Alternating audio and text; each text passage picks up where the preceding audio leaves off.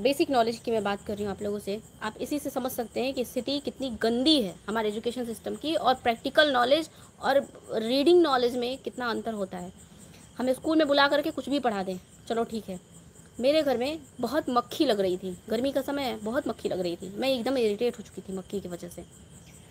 बहुत सारे जितने भी आते हैं ना क्लीनर फ़र्स्ट क्लीनर जितने भी आते हैं, सबसे यूज़ करके हम देख चुके थे मक्खी बैठना बंद नहीं हुई थी।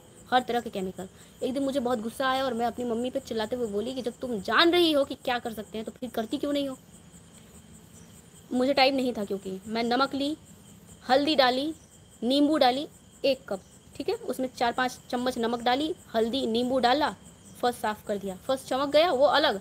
मक्खी की स्थिति ये हो गई कि वो खाने के पे ऊपर आके बैठ रही थी, पर वो फर्श पे नहीं बैठ रही थी। तो इतना बेसिक सा ज्ञान हमें अच्छे से पता है कि नमक क्या काम करता है, हमें अच्छे से पता है कि हल्दी क्या काम करता है, हमें अच्छे से पता है कि नींबू क्या काम करता है। वो खाने वाली चीज़ है, उस फर्श को आप चाट लोगे तो भी आपको कोई नुकसान नहीं होने वाला है। जिस इस सॉल्यूशन को मैंने जहाँ कहीं भी लगाया था, पूरे रूम में मैं स्प्रे कर देती यदि इस सॉल्यूशन का तो भी किसी के ऊपर कोई नुकसान नहीं होता और मक्खी मेरे पूरे मोहल्ले से निकल जाती, ऐसी स्थिति हो जाती। लेकिन मैं सिर्फ़ फर्श ही साफ़ की।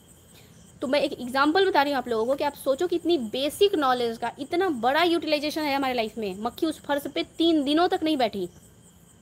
एकदम नहीं बैठी। लेकिन हम उसको यूज़ नहीं करते। दिमाग नहीं लगाते हैं अपना। हम क्लीनर ही लेकर के आएँगे। मैं नहीं यूज़ करने देती हूँ। कभी कोशिश नहीं करती हूँ। आंवला, रीठा सीका काई हमारे लाइफ में है। हम क्यों यूज़ करते हैं शैम्पू? क्या यूज़ करना है उसको यार? और क्यों बाल झड़ा हुआ घूम रहे हैं लेकर के?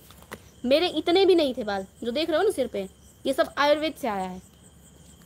बचपन से ही नहीं था, बहुत कम था।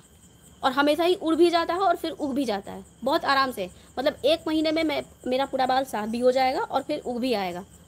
यहाँ देख लो डॉक्टर कितने पैसे बना रहे हैं, कितने पैसे बना रहे हैं। गंजों के नाम पे एक बार किसी का बाल चला जाए, दोबारा नहीं आता। ऐसी स्थिति है। क्योंकि लोग यूज़ करना नहीं जानते हैं चीज़ों को। अच्छी तरह से आयुर्वेद फ्री में अवेलेबल है यार, उसको नहीं पढ़ना है। बच्चों को बेसिक नॉलेज नहीं देनी है कि तुम बीमार पड़ जाओगे तो क्या करना है? तुम्हारे घर में तुम्हारी घर का आँगन टेढ़ा हो जाए तो उसको सीधा कैसे करने हैं? घर में कील ठोकना है तो कैसे बनाना है? घर के इलेक्ट्रिक के बोर्ड भी ख़राब हो जाते हैं ना? सोचो ना कि स्कूल में साइंस मैथ सब पढ़ाया जाता है। घर के इलेक्ट्रिक का बोर्ड ख़राब हो जाए, तुमको मैकेनिक इंजीनियर बुलाना पड़ेगा। मतलब गलत है ना हमारा एजुकेशन सिस्टम दसवीं तक पढ़ा करके आई बना रहे हो तुम। आई बन जाओगे दसवीं तक पढ़ के। और घर में इलेक्ट्रिक वाला एक बोर्ड ठीक करने नहीं आ रहा है। घर में एक छोटा सा फ्रिज का दरवाज़ा टूट जाए तो वो बनाने नहीं आ रहा है। और बात करते हैं कि पढ़ा रहे हैं। काय को पढ़ाना? ग्रेजुएट होकर के घूम रहे हैं। बेकार है। ये नहीं होना चाहिए था इस तरीके से।